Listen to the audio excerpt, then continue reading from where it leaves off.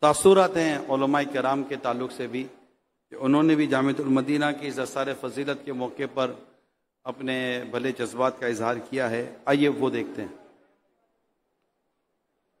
یہ بتاتے ہوئے نہایت خوشی ہو رہی ہے کہ الحمدللہ اس سال عرص اعلی حضرت رضی اللہ عنہ کے موقع پر دعوت اسلامی کے زیر اہتمام جامعات المدینہ سے ایک ہزار چالیس طلبہ الحمدللہ فارغ ہو رہے ہیں۔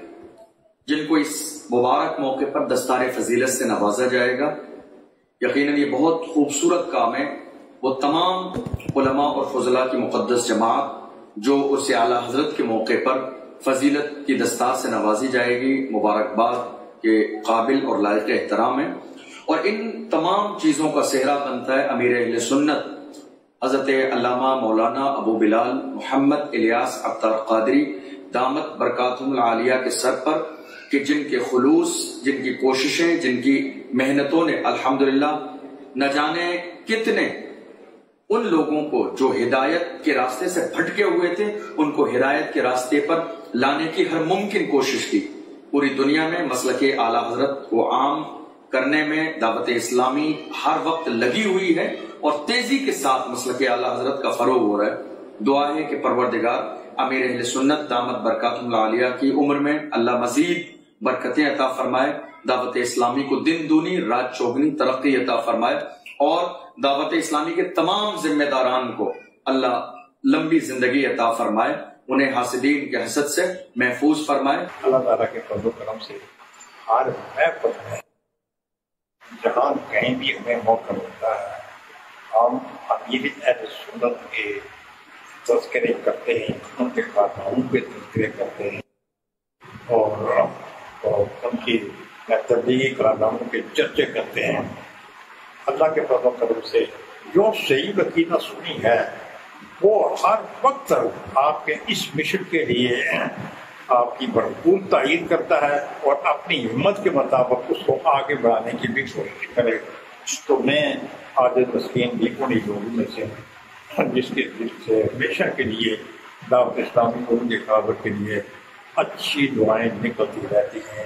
اللہ تعالیٰ ان کے وسیلہ سے ہمارا خاتمے وہاں پر کر قیامت کے دن آپ اللہ تعالیٰ کے بعد اسی فرمائے اور اپنی سب سے بڑی نعمت ہمیں اپنے دیدار سے الحمدللہ، آج ہمارے ادارے جامعہ مجددیہ نعیمیہ ملیر میں ایک ہمارے علماء کرام کا وفد، رابطہ بالعلماء، جو مرکز سے، فیضان مدینہ سے ہمارے ادارے میں آیا۔ ہم انہیں تہ دل سے خوش آمدید کہتے ہیں۔ اور سب سے بڑی خوشی کی بات عرس اعلی حضرت کے موقع پر تین اکتوبر بروز اتوار بعد نماز عشاء فیضان مدینہ میں طلباء کرام کی دستار فضیلت کا بھی پروگرام ہے اور اس دستار فضیلت میں تقریباً ایک ہزار چالیس کے قریب طلباء کرام سند فراغت حاصل کریں گے، جن میں درس نظامی عالم کورس کے طلباء ہیں تخصص فی الفقہ کے طلباء ہیں اور تخصص فی الحدیث کے ساتھ تخصص فی الامامت کے بھی طلباء کرام ہیں۔ یہ ہم اہل سنت کے لیے، پورے عالم اسلام کے لیے یہ فخر کی بات ہے اور اعزاز کی بات ہے۔ یقیناً امیر اہل سنت کی جو خدمات ہیں اور ان کا جو اخلاص ہے، آج پوری دنیا میں جو پھیل رہا ہے اور تیزی سے اور انشاءاللہ مزید پھیلے گا۔ اور ان کے ساتھ جو پوری ٹیم ہے ہمارے دعوت اسلام کی، وہ بھی خراج تحسین کے مستحق ہے ان کی خدمات ہیں علماء کرام جو دعوت اسلامی سے منسلک ہیں، شب و روز جو دین کی خدمت کر رہے ہیں اور مدارس کو چلا رہے ہیں۔ تو میں اپنے ادارے کی جانب سے بحیثیت نازم اعلیٰ، جامعہ مجددیہ نعیمیہ امیر اہل سنت کو اور تمام ہمارے دعوت اسلامی کے بھائیوں کو پیش کی مبارکباد پیش کرتا ہوں اور دعا کرتا ہوں اللہ رب العالمین کی بارگاہ میں کہ اللہ تعالیٰ مزید ترقیاں عطا فرمائے اور مزید اللہ تعالیٰ عزتیں عطا فرمائے اور حضور امیر اہل سنت کو اللہ تعالی خدری حیاتی نصیب فرمائے اور ان کا سایہ عوام اہل سنت پر ہم سب پر ہمیشہ قائم دائم رہے۔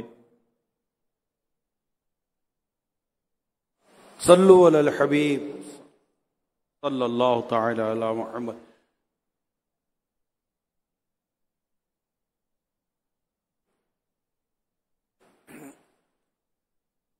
ماشاء اللہ علماء سنت کے تاثرات ست کروڑ مرحبا. دعوت اسلامی سے ان کی محبت، سنیت سے ان کی محبت، مسلک کے اعلیٰ حضرت سے ان کی محبت. اللہ اس میں اور برکت نصیب فرمائے. ان کی خدمات دینی بھی قبول ہوں، ہماری خدمات دینی بھی قبول ہوں۔ صلو علی الحبیب صلی اللہ علیہ وسلم۔